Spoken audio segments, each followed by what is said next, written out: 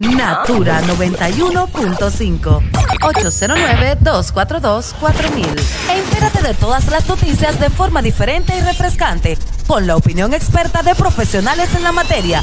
De 7 a 9 de la mañana El Caster Show. Cultura, medio ambiente, política, salud mental e investigación. Por Natura 91.5 y en las redes sociales El Caster Studio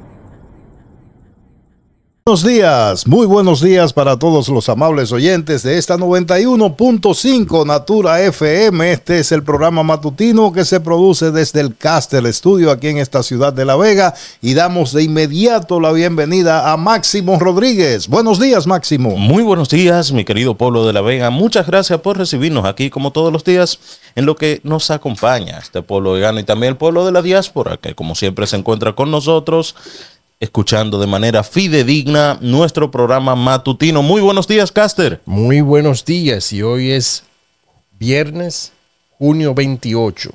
Viernes y fin de mes, señores, qué combinación. Fin, de semana, fin de mes.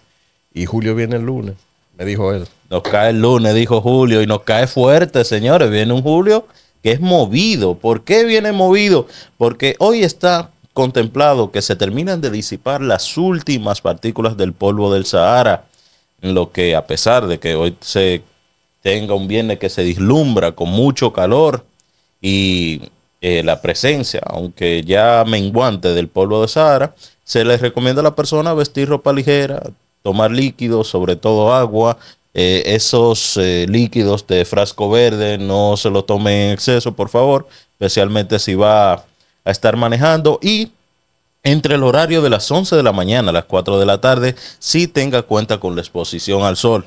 Y sobre todo, tómelo suave, que este es un fin de semana que como tiene una combinación bastante fuerte y sobre todo que cunda la prudencia, que ande la prevención y sobre todo que disfrutemos para que podamos conocer a Julio este lunes. Bueno, eh, antes de empezar, eh, ¿Ustedes vieron el debate de ayer de Trump y Biden? Sin desperdicio. Había esta gente haciendo apuestas. ¿Quién se equivocaba primero entre los dos? Señores. ¿Qué usted puede contarnos de eso, ese, Ese hombre está, está, está perdido. Adundo, Oye, tremendo. Primero estaba hablando de una vaina del COVID, después saltó con otra cosa de seguro, en medio de la conversación, y lo tuvieron que cortar. Ahí mismo interrumpirlo porque se fue fuera de tópico. Inclusive, eh, Trump se burló de él varias veces. Eh, como quien dice, yo no sé lo que él dijo, pero esto, esto y lo otro. Bueno, la verdad es que se la jugaron los demócratas porque exponer ya con todos los antecedentes que hay sobre eh, la salud mental del presidente Joe Biden, pues haber ido a este debate que creo que es obligatorio en Estados Unidos. Sí pero la obligatoriedad naturalmente tiene que tener, eh, digamos que, eh, formas de no hacerse cumplir, porque eh, la verdad es que... no, es que no hay este forma. Bueno, pues... Allá, allá no juegan esa, ¿no? y, lo, y lo malo de esto, que muchos de los demócratas calificaron como un desastre esta participación del de su jefe, demócrata Joe Biden. Era previsible. Era previsible, desgraciadamente. Aunque Lo están comparando como el peor desde que John F. Kennedy y Richard Nixon empezaron a intercambiar, en el cual Nixon perdió totalmente los pies. Aunque hay gente que creen que lo está haciendo a propósito, para crear memes, para crear más eh, comentarios. Más contenido puede que sea, pero también son, son, campañas publicitarias negativas, porque lo que afectaría es la percepción. Ya después si tú tienes un meme del Sleepy Joe, del Joe que se duerme, y ahora tú lo estás exacerbando con esto. que recuerda que... Toda publicidad es buena, eso sí es verdad, pero usted sabe que si queremos capitalizar ese mismo fenómeno que hizo Trump en el 2016, Recordemos que Trump no se mostraba ido, sino que simplemente se mostraba con aquel que era edgy, aquel que no tenía miedo a decir las cosas, que no tenía miedo a comunicarse.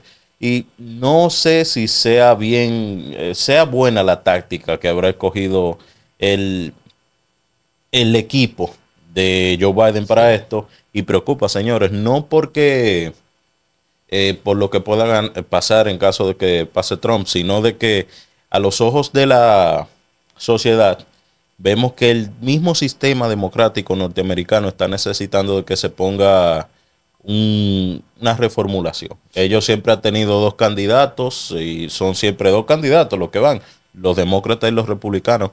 Y desgraciadamente vemos que esa fórmula está empezando a, a estancarse.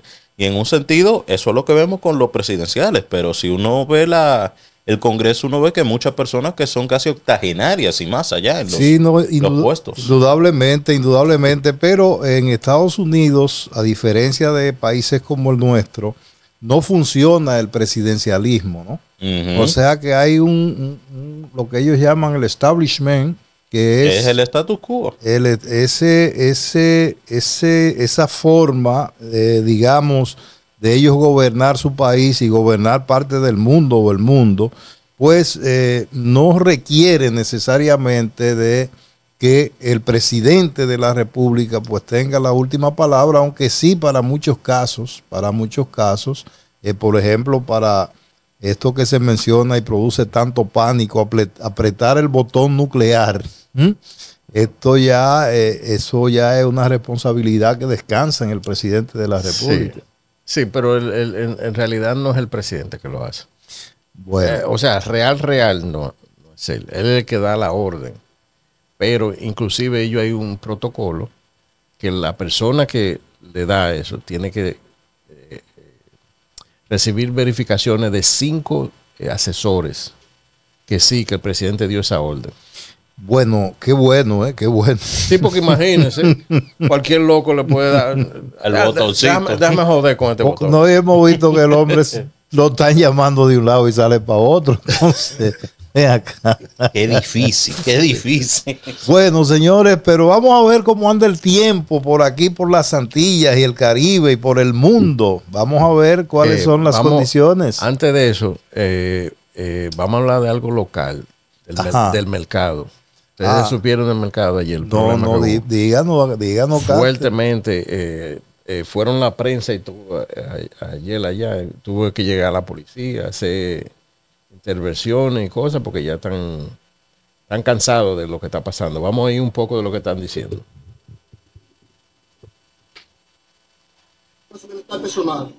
El presidente vino aquí hace cuatro años y nos dio las esperanzas con la idea de cambio de que en un año iba a estar listo el mercado ya pasaron sus cuatro años y nosotros lamentablemente cumplimos ocho años y 27 días.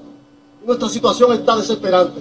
Hemos sido tan pacientes porque hemos creído en las autoridades, porque somos una comunidad laboriosa, pero ya no aguantamos más. Hoy es la última reunión que hacemos.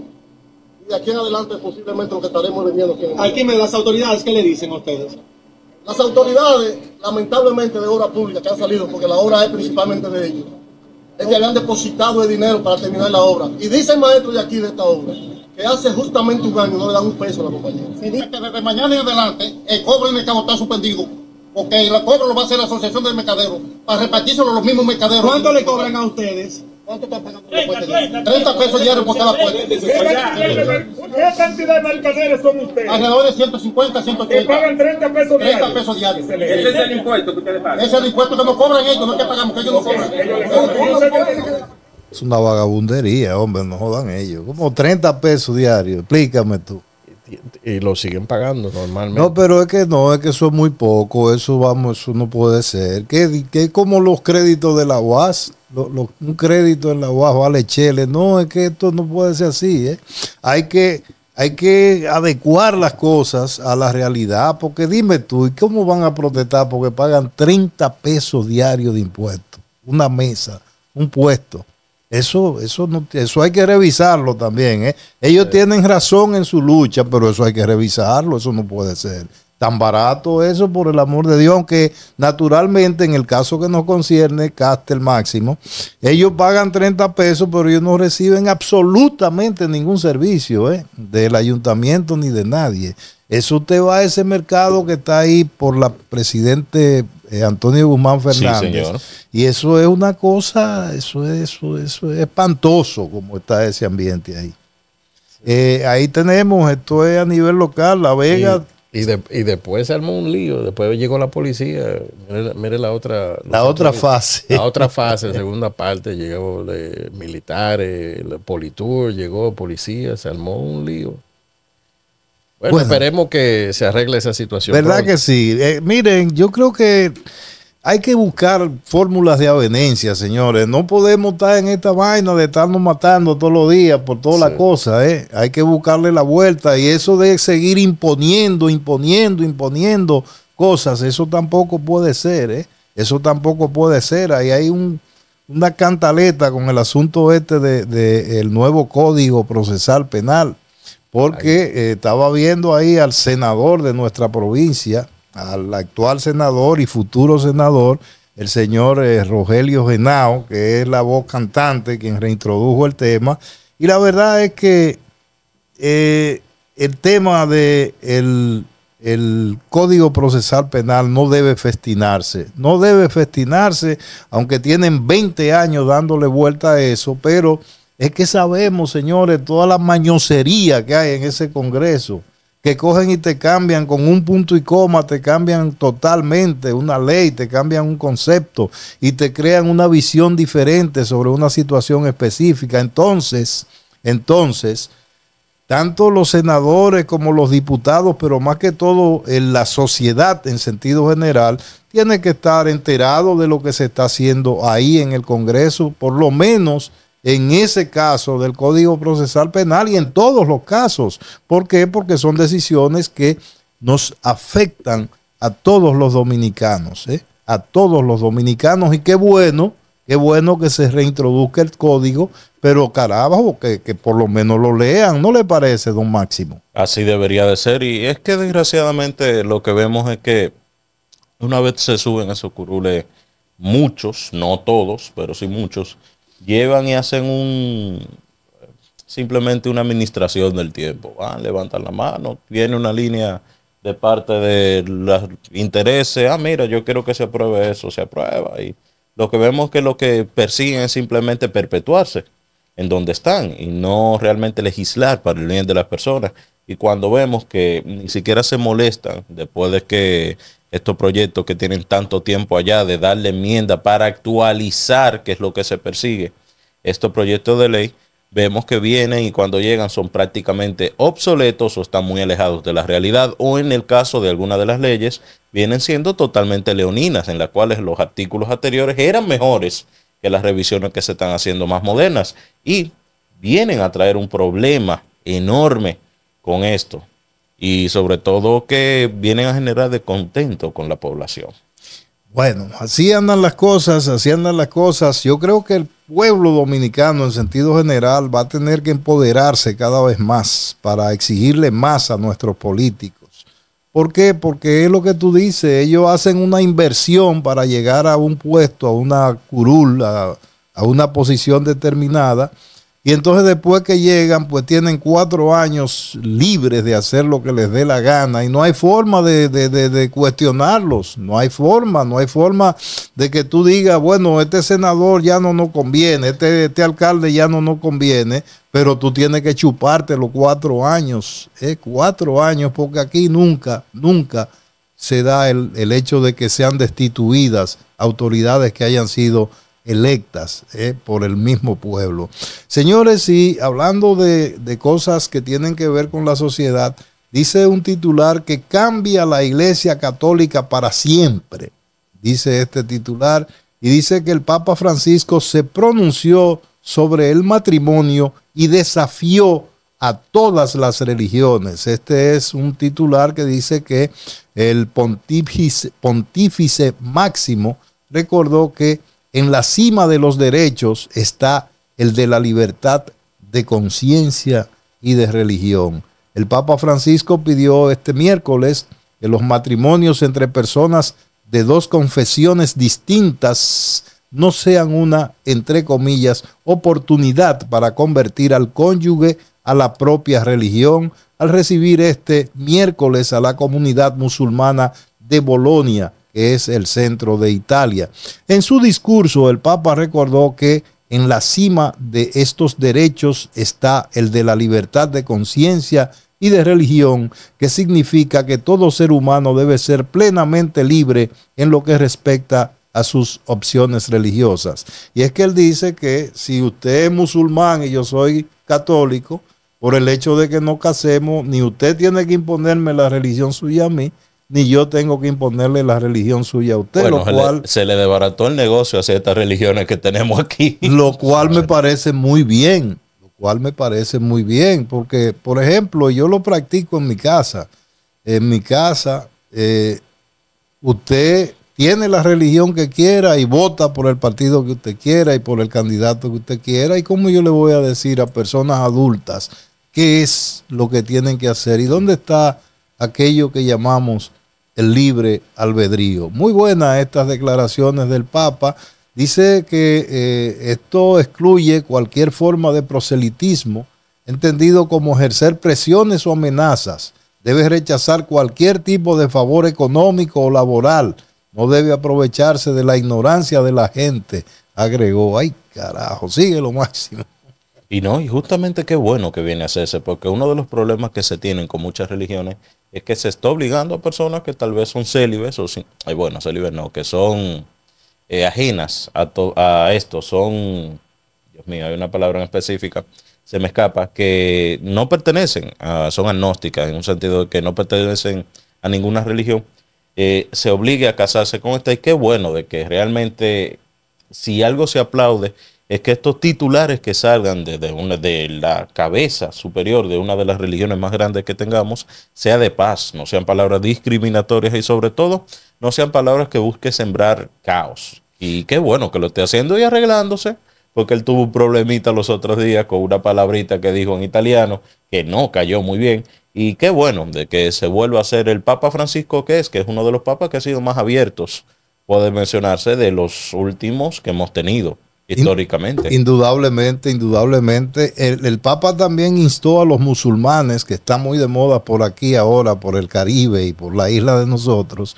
a, les indicó que en este momento de la historia necesita creyentes coherentes y firmemente comprometidos en la construcción y el mantenimiento de la paz social y mundial. Qué bueno este, este párrafo al que se refiere el Papa Francisco. Y recuerden ustedes que eh, la Iglesia Católica tiene miles, de más de 1.400 eh, millones. millones. de adeptos, eh, igual que lo, los musulmanes que tienen más todavía, tienen mucho, mucho más. más. Entonces, qué bueno, es una forma de que vayamos buscándole una vuelta a esto para que nos pongamos de acuerdo en la sociedad del mundo, porque la verdad es que es necesario, es necesario. Hay un tema que quisiera tocar que salió y provocó un boom en las redes sociales, y es que justamente ayer, al terminar el programa, estamos hablando de que teníamos un detalle con nuestras estadísticas que estaban un poquito desfasadas, y curiosamente ayer mismo la Oficina Nacional de Estadística presentó tarde en el día las los resultados finales de lo que es el censo que se hizo en el 2022. Un informe que es bastante largo y da muchísima data que en teoría lo que hacen las políticas públicas deberían estar contentos, pues información que deberían saber, arrojó muchas informaciones curiosas. Entre estas, bueno, cosas como que en el informe preliminar decía que éramos alrededor de 10.760.028 personas. Ahora le sacaron punta lápiz y el resultado es 10.773.983 personas a finales del año 2022. Que como quiera que no importa mucho, pero eh, hay que destacar también que solo el 79.4 de las viviendas fue censada y que el resto se hizo por método de estimación. Así que puede que los números varíen un poco, suban un poco, pero esto traje o esto trajo una noticia que está saliendo en muchos de los periódicos y es que la población dominicana, señores, está envejeciendo. Wow, descubriste el agua tibia, Máximo. No. Y está Lo que estamos diciendo con esto es que este fenómeno que se está dando prácticamente en todo el mundo, en algunos países como Japón, Canadá y España, más que en otros, tiene muchas implicaciones, lo que se debe principalmente a dos cosas. Primero, los avances de salud, de salud, perdón, porque la gente ya está viviendo más años. No es como hace unos 50 años que tú apenas llegabas a los 65 y sabe Dios si de ahí para allá tú estabas en Inis Extras, sino que también la gente está teniendo cada vez menos hijos. Y también pudiéramos decirse no. una tercera, que es la migración, pero es un poquito más complejo. No, no, la gente no, en este caso los dominicanos. Señores, y esto es un dato que hay que verlo con pinzas. ¿Por qué? Porque el censo revela que la población dominicana va rumbo a la disminución. Sí, que ¿eh? está teniendo cada vez menos. Pero, pero la población haitiana te tiran dos muchachos cada 18 meses. ¿eh? Entonces estamos sobre la misma isla. Mientras ellos están creciendo vertiginosamente, gente joven, ¿eh? nosotros estamos envejeciendo y disminuyendo. Cuidado con eso, ¿eh? cuidado con eso, porque ahí mismo eh, el, profe- el, el, el expresidente eh, doctor Joaquín Balaguer habla de la invasión del vientre. El vientre, que odio tener que darle razón, pero la tiene ahí porque lo está reflejando. Totalmente, eso es lo que dicen las estadísticas. Y sobre todo es que vemos que eso va a tener que hacer cambios, especialmente en lo que son nuestras políticas públicas. Pues, señores, en teoría, claro, hay que ver cómo ha- hayamos evolucionado. Recuerden, esto es la información tomada del censo en 2022, que aunque puede marcar tendencia, no necesariamente refleja lo que estamos viviendo hoy a 28 de junio del 2024. Sin embargo, vemos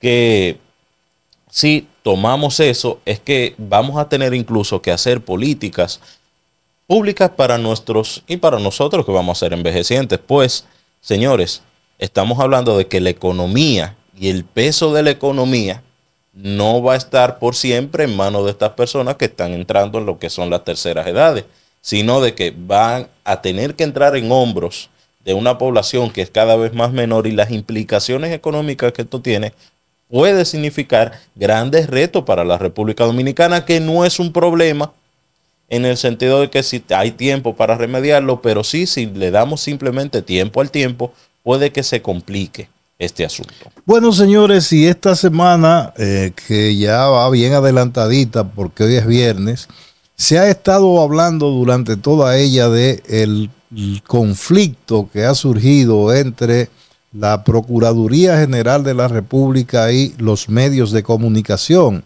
Y es importante destacar eh, la participación ayer de la señora Procuradora General de la República, quien merece todo, todo, absolutamente todo nuestro respeto y consideración ¿eh?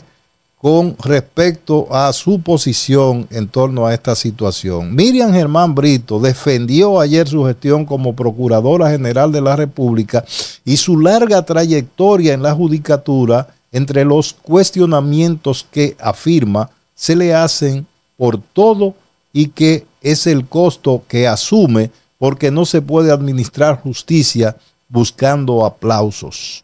En un encuentro con los directores de medios de comunicación a los que aseguró, entre comillas digo, pueden tener la tranquilidad, cierro comillas, de que, abro comillas, nunca actuaría contra la libertad de expresión, cierro las comillas salió al frente de la estrategia política de persecución que se ha implementado en el Ministerio Público y que ha conllevado negociaciones con gran parte de los imputados, junto a la coordinadora de litigación de la Procuraduría Especializada de Persecución de la Corrupción Administrativa PETCA, Mirna Ortiz, aseguró que esos acuerdos están firmemente anclados en el ordenamiento jurídico, por lo que no hay que satanizarlos. Sostuvo que los convenios que ya han permitido en procesos penales abreviados la devolución de recursos y bienes al Estado persiguen también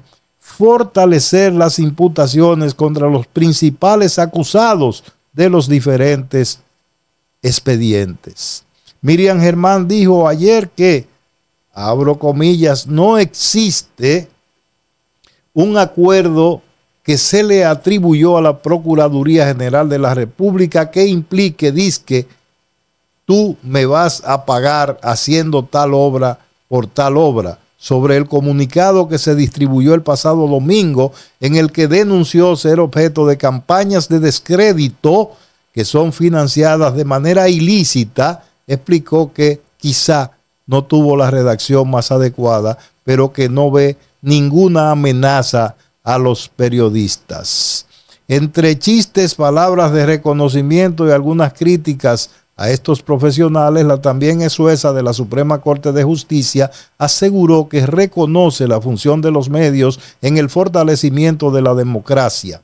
En su crítica sostuvo que no está de acuerdo con el uso de palabras sin el debido rigor, dañando reputaciones de personas e instituciones.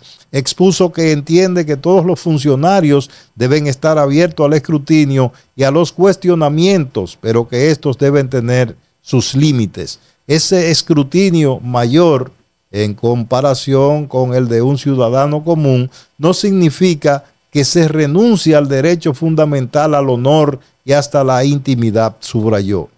En la reunión con los directores de medios, la Procuradora General fue abierta al tratar algunos temas de su vida personal y sobre todo la condición especial de su hijo Orlando, el cual reveló que tiene un ligero retardo y rasgo de autismo, al cual el amor que le ha dado y lo que ella ha recibido de él no tiene precio. Sin embargo, dijo estar de acuerdo con las tres causales porque no puede mezclar una convicción religiosa.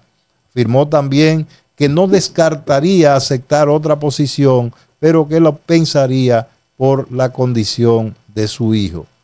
Eh, señores, también la procuradora rechazó que solo someta a la oposición y dice que la Procuradora General de la República rechazó que solo se sometan a la justicia dirigentes de partidos de la oposición y para contradecir a los que la cuestionan recordó que en los últimos cuatro años se han condenado legisladores del partido oficialista sometidos en su gestión como máxima representante del Ministerio Público. Germán dijo que pueden ser más los del gobierno anterior, los llevados ante los tribunales, pero que eso obedece al tiempo de gobierno anterior y lo del vigente del Partido Revolucionario Moderno. Añadió que las investigaciones no se realizan de hoy para mañana, pero que las que han llevado a cabo se les ha dado su curso y se han enviado donde corresponde. Bueno, estas son declaraciones de la Procuradora General de la República, doña Miriam, ha estado en un match ahí con, lo, con la prensa y yo creo, y debo decirlo, que aunque tengo mi respeto y reconozco la calidad del señor Julio Martínez Pozo, pues eh, creo que la condición de doña Miriam, una dama eh, ilustre que ha engrandecido la justicia en la República Dominicana, pues esa condición debe ser respetada. Y, esos excesos que tal vez fueron una cuestión del momento, eh, el señor Julio Martínez Pozo, quien gozo de su amistad, pues debiera también eh, eh, reconsiderar esas expresiones y si se quiere hasta retractarse de esos términos que él usó para referirse a doña Miriam, quien dijo de paso, señores, y esto sí que es importante que lo sepamos, dijo de paso como que ese comunicado que se hizo no lo hizo ella. Eso es lo que se infiere de las declaraciones que ella dio ayer en los medios del grupo de comunicación Corripio. O sea, como que ahí hubo otras manos. Y es que hay que entender, señores, que cuando llega el PRM, que es el partido que está en el gobierno, el que estaba antes era el PLD. Y parte del equipo que está trabajando con doña Miriam son gente que vienen de haber trabajado con Jean Alain Rodríguez, que es el principal imputado del caso Medusa, del que eh, nos hemos enterado de que definitivamente eh, eh, pusimos un gato a cuidar la longaniza, señores, porque la verdad es que la verdad es que las cosas que se han salido de ahí, de, este expediente, dejan a uno con la boca abierta, señores. Eh, yo creo que es necesario que en la República Dominicana existan mecanismos que sean más efectivos, que sean más acorde con las necesidades de lo que requiere la sociedad al momento de elegir gente para que vayan a ocupar posiciones públicas. Y esto vale para el presidente actual de la República, que habrá de ser el presidente eh, dentro de unos meses, ya de un par de meses nuevamente, en el sentido de que seleccione bien a su gente, porque hay unos funcionarios, señores, como el señor Bonilla, por ejemplo, ¿eh? Que están siendo muy cuestionados, muy cuestionados, incluso con el caso este de, de lo que se está viendo ahora en la justicia, ¿eh? con unos contratos que le dieron a una persona que ya de paso desfalcó al Estado, ¿eh? eh la señora esta eh, de apellido, ¿cómo se llama, carajo? Bueno. Esa misma. se me, Bonetti. Bonetti. Bonetti. Carajo, eh. Ese es uno de los perfumados. Buenos días, Catherine. Buenos días, bendiciones para cada uno de ustedes. Bonetti, ya tú sabes. Oye, el apellido. Cuando termina en TI no son buenos. 2.700 millones de pesos en obras para que ella resarza al Estado Dominicano.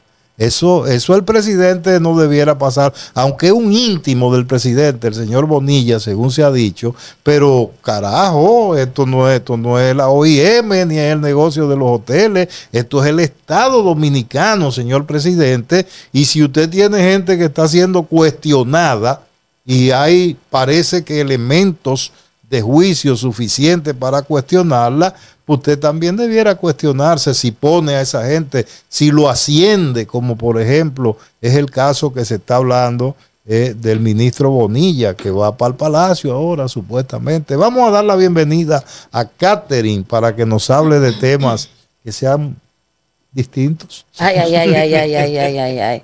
Por ejemplo, por ejemplo, buenos días, bendiciones para cada uno de ustedes. Nueva vez, yo feliz y bendecida de estar aquí. Hoy es viernes, viernes y estamos a víspera del Santo Cobro. Qué rico. Que, se sientan los mensajes no tan subliminales. ¿eh? Señores, hay ruido en los micrófonos. ¿Qué es lo que se No llega claro el mensaje. Oh, fue algo. de que hay señales ya. Hay señales. Señores, y, hay una buena noticia en el ámbito deportivo. Tenemos que por primera vez en la historia eh, va a haber padre e hijo jugando en el mismo equipo. Filmaron, filmaron ayer el hijo de, de LeBron James, Brownie James, en la segunda vuelta de la NBA va a jugar. Pero son dos clones, ¿eh? claro, igualito. Claro, claro. Eso es, eso va a ser por primera vez en la historia. Primer dúo de padre e hijo. Del mismo, en el mismo equipo. En el mismo equipo. Y, son de aquí la gente, ¿no? ¿Ah? Son de aquí. los James. wow. Eso lo queremos como si fueran de aquí, con la estima que se le tiene, porque tienes un jugador, el King James es uno de los jugadores que más después de COVID de, Jordan, perdón, pero son de los jugadores que ha sabido levantar el juego y realmente la dinastía y el legado que ellos han dejado en la NBA no se puede, eh, no se puede debatir. son unos monstruos, en verdad. Hay que darle su espacio. Una cosa que sí me da, eh, me da curiosidad es que no es fácil tú estar bajo la sombra de tu padre cuando estás en un negocio, cuando estás en algo. Y menos cuando tu padre es considerado uno de los mejores jugadores de la historia, cuando se trata de LeBron James. Así que hay que ver cómo evoluciona esa dinámica y cómo el hijo de él logra eventualmente, porque todos los hijos tenemos que salir, las hijas de la falda de las madres, los hijos de la sombra de los padres, cómo tenemos que ir e ir haciendo su carrera. Hay que ver cómo se va desarrollando porque no es fácil. Él tiene que ser excelente eh, haciendo lo que hace. Ya por default, ¿eh? pero tiene que... Oye, él lo va a superar a su papá. ¿Tú crees? Claro que sí. Eso, eso lo veo un poquito lejos, pero tiene que hacerlo. Tiene que hacerlo obligado. Te voy a dar otro ejemplo. Vladimir Jr. Míralo ahí. 11 honrones ya. Él la está rompiendo, pero no jugó con su papá. Bueno, no. no, no, no, no, Es una comparativa a nivel de números. Eh, eh, recuérdate, eh, estamos comparando, eh, eh, y él ahora mismo, con la edad, comparado con, con la su papá, tiene mucho más. Tiene, mucho, más. Entonces, si él sigue y no selecciona, no tiene problema, le va a pasar con los números. Si no, lo lesionan con una menor tampoco. O si, No, no, o, si no, o, o algún, algún eh, cosa químico que, que ellos se, se, No, no, no, se eso, ponen. eso no. el- ya en ese caso no. Pero sí vemos que realmente un estelar, una carrera estelar, en el caso de Vladimir Guerrero Jr. y, Y- y se pone bueno. esto, ¿eh? Recuérdate que son eh, hijos que han estado al lado de su padre desde, desde, desde pequeño. Desde pequeño. So, ellos se saben todos los trucos y aprenden todos los trucos. Y, y eventualmente el estudiante está supuesto. a superar al maestro. Claro. Pero hay algo muy importante, hay un favor, un factor muy importante que no hemos tomado en cuenta. Y es el tema, ¿qué tal para ese padre ir guiando a ese hijo mientras él mismo se va formando? Eso, eso- tiene que ser Es, fuerte. es un orgullo. Eso, toma, Bueno. hijo, toma la bola. Es un orgullo. Y miren, yo puedo decir, a propósito de que este es el mes en el que se celebra el Día del Padre, de que he tenido el placer de eso, porque mis pininos y todo lo que he visto en la radio fue lo hecho con mi papá. Todavía no entrado a. Julio. No, pero hay que empezarlo a privar desde ahora, mi amor, como Ay, estamos ay, como ay, el Día de la. Madre. Bueno, Porque, señores. señores, me ha tocado ese placer y ese honor, así que gracias. Ah, Eh, bien, la, la vicepresidenta de la República, y nosotros aquí hablábamos del tema de, de la inversión del Ministerio de Educación, la inversión del Estado Dominicano del 4% del Producto Interno Bruto en la educación de la República Dominicana y de los pobres resultados que se han tenido, pues eh, la vicepresidenta Raquel Peña manifestó ayer que debido a la mala inversión, coincidimos totalmente, del 4% del Producto Interno Bruto, PIB, administrado por el Ministerio de Educación, millones de, millones de dominicanos no han recibido educación de calidad. Consideró que los responsables de que esos recursos no fueran invertidos adecuadamente deberán sentir remordimiento. Además, cuestionó que los que reclamaron el 4% para la educación en el 2011 no siguieran luchando por la correcta aplicación de este. No era solamente lograr la conquista, sino también dar seguimiento a que se produzca en lo que nosotros anhelamos y que el país necesita, que saliera una educación de calidad para nuestros hijos y nuestras niñas, expuso. Yo creo que no es un asunto simplemente de remordimiento, más bien debieran ser sometidos a la justicia, los que han hecho fiesta con los cuartos del Producto Interno Bruto que llegan al Ministerio de Educación. Asimismo, reconoció que el 4% ha ayudado a mejorar las estructuras escolares y el aumento en la remuneración de los maestros y que la actual gestión gubernamental de Luis Abinader está comprometida a transformar el sistema educativo desde las aulas. Nosotros vamos a un corte comercial Pero después de escuchar esta información. Antes de, de- volvemos con el, el- el abogado José Ángeles Ulerio, que vamos a hablar del problema de la logística del sistema de justicia dominicana, la incidencia en la población. muy importante. En breve volvemos. Adelante, estudios. La 91.5 809-242-4000. E entérate de todas las noticias de forma diferente y refrescante, con la opinión experta de profesionales en la materia.